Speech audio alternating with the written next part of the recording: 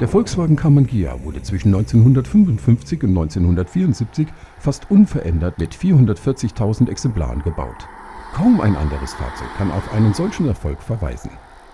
Wilhelm Karmann hatte anfangs der 50er Jahre die Vision, einen italienisch anmutenden Sportwagen auf der Basis des Volkswagen Käfers aufzubauen. Dieses Modell sollte die Verkaufszahlen im europäischen Ausland und in den USA steigern. 1953 präsentierte Karmann schließlich ein neues Produkt auf dem Genfer Automobilsalon, das erste Karmann Ghia Coupé. Das Design des Coupés war, wie der Name vermuten lässt, in der italienischen Designschmiede Ghia von Designchef Mario Felice Buono entworfen. Anfängliche Entwürfe des Karmann Ghia hatten noch nicht die späteren Nasenlöcher an der Front.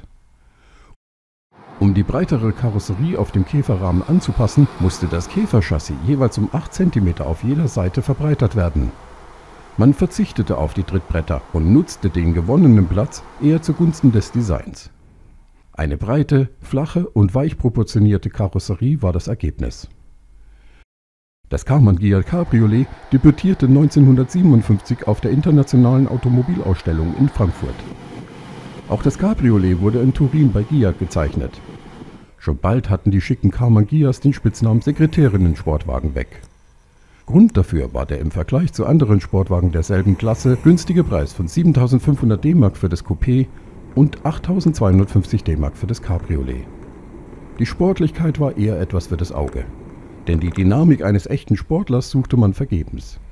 Kein Wunder, denn unter der sportlichen Karosserie verbirgt sich reine Volkswagen-Technik des Käfers, sprich ein Vierzylindermotor im Heck, Zentralrohrrahmen, hintere Radaufhängung an Querrohren und Federstäben.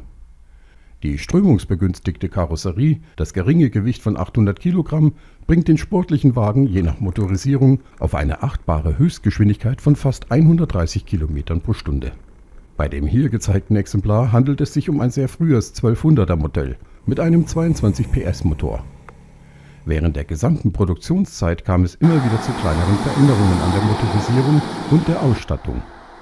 Die eigentliche Form der Karosserie wurde aber kaum verändert. Von den Karmann Ghia Cabriolets wurden insgesamt ca. 80.000 Exemplare gebaut